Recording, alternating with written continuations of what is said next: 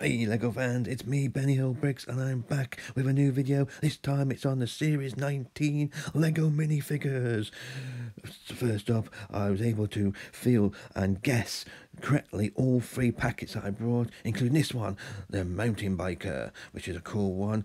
Uh, she's got glasses on and then or plaster or no glasses. Pretty cool. You got two faces.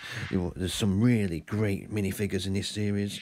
Loads of good ones, including a lady with a flamingo, the bird, which is quite cool. I don't think that's been available in any of set. If it has, tell me in the comments below. Then we have this guy, who I think is a really good one. I really wanted. It is shower guy, which is pretty cool. Rubber ducky, his towel and his brush, different face, and his shower cap, which is pretty awesome. There's a rugby player you can get with a rugby ball. There's also a guy dressed up as a bear, or as, one where there's a woman dressed up as a fox, and you get like a chicken. And then there's so many great ones. An explorer, it looks like Johnny um, Thunder.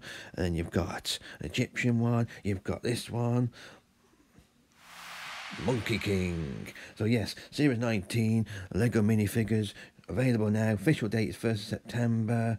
Thanks for watching. Please like and subscribe. And Series 19 out now.